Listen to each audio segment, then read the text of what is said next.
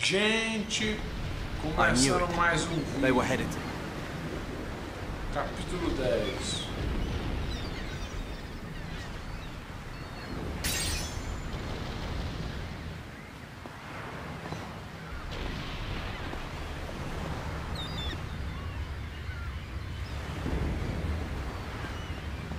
There's a monster up ahead. Fall in. Move! Gurak cavalry? We don't have time for this. Cool it, Zael. We can't go head to head against that. Watch its movement. If we strike from behind, we should be able to end it.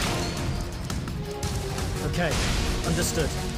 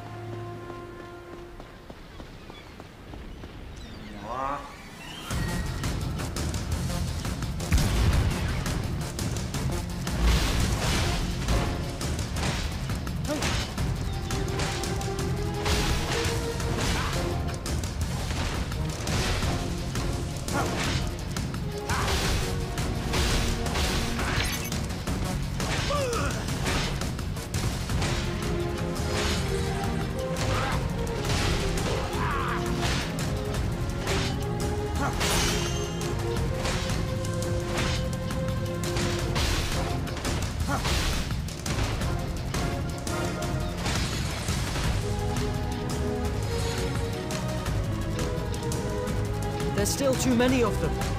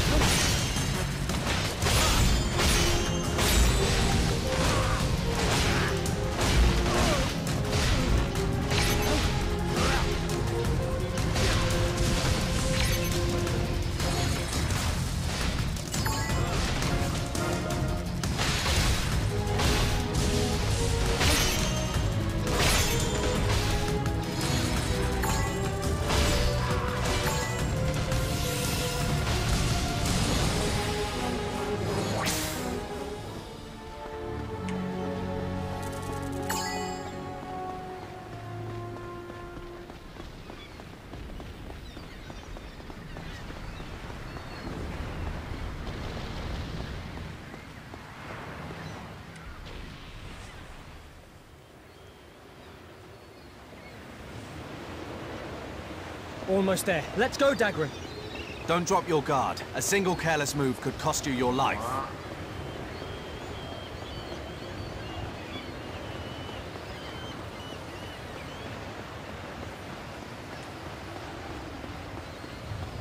Calista! Give her back! Well, well. The human from the castle. Blessed with bravery, guts, and stupidity. Zael, don't do anything rash. You can't take him on your own.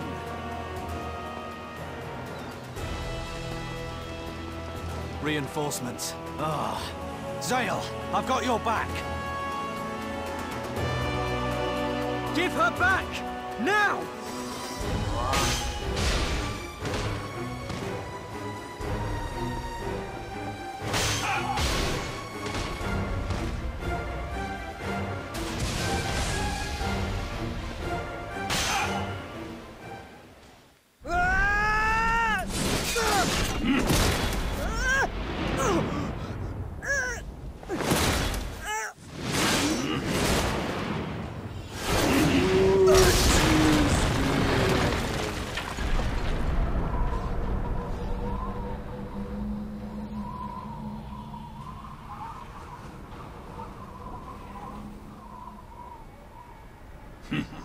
Humans, fragile and pathetic.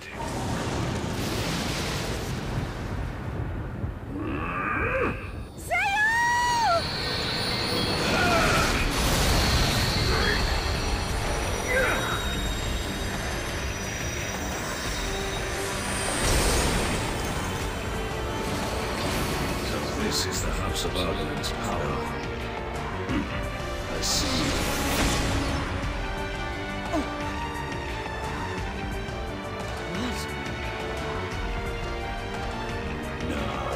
Show me what futile efforts your kind can muster.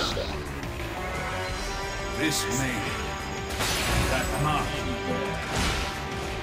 Very well. Agora. Let me see how far your mastery of this power extends. I will protect Calista, no matter what it takes! Our time is running out. Lord Zangurak, they are preparing to fire Lazulis cannon. We must make haste.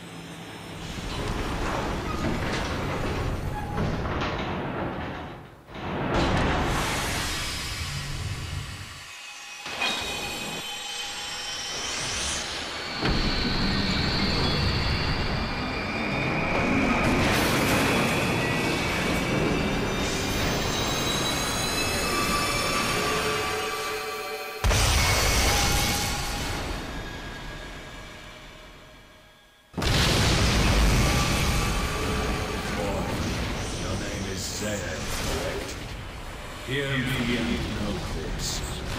The outsider's power will eventually be mine. I suggest you steel yourself for what lies ahead. Calista! Zael! I'm so glad you're safe. What's that?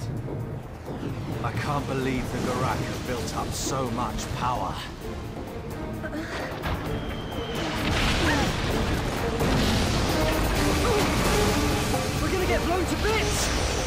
And no one in the castle knows we're here. What about the sea? No good. Between the cannons and the wake of the fleet, we'd be drowned rats. So what do we do? Wait, Dagran, don't tell me. It's the only way. We board that ship. What about her? What about me? I don't see any other way out Let's of this. go. Threatened with death at the hands of the castle's many cannons, Zael, Calista and Dagran had no other choice. A Gurak ship raised her sails and unwittingly took on three extra passengers. Under the blood-red sky and amidst the deafening roar of cannon fire, the three stowaways hid themselves and bided their time.